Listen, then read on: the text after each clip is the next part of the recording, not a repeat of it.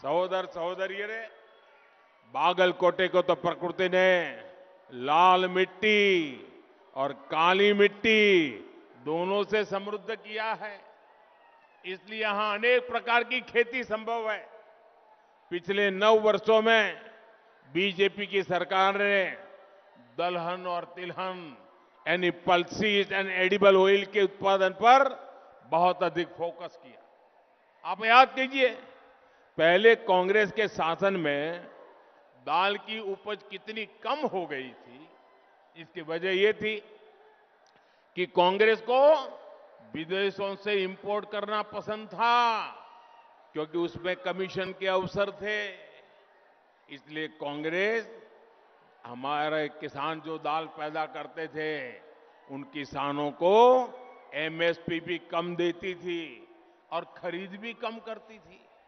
कांग्रेस की सरकार ने 2014 से पहले के फाइव ईयर में सिर्फ़ 1.5 लाख मैट्रिक टन दाल एमएसपी पर खरीदी। हमारी सरकार ने इस खरीद को लगभग 100 टाइम्स बढ़ाया।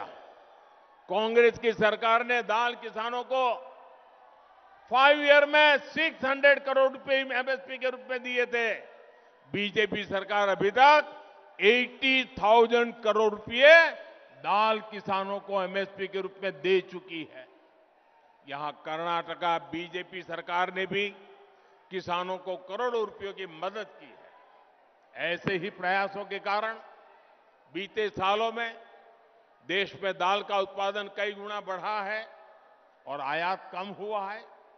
पहले जो हज़ारों करोड़ रुपए विदेश जाते थे, वो अब कर्नाटका के और देश के किसानों को मिल रहे हैं। बंधु भगनेरे जो परिवर्तन दलहन के क्षेत्र में हुआ है।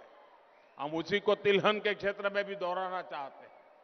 पिछले कुछ वर्षों में एडिबल ऑयल के क्षेत्र में तिलहन का उत्पादन 20 परसेंट से ज़्यादा बढ़ा है। लेकिन इसको बहुत अधिक बढ़ाने की ज़रूरत है। अभी खाने के तेल के आयात के लिए हमें 1.5 लाख करोड़ रुपए तक हर वर्ष विदेश भेजने पड़ते हैं। मैं चाहता हूँ कि ये पैसा देश के किसानों को मिले, हम खाने के तेल में आत्मनिर्भर बने। इसके लिए मिशन ऑयल पाम के तहत तिलहन किसानों को मदद भी दी जा रही है।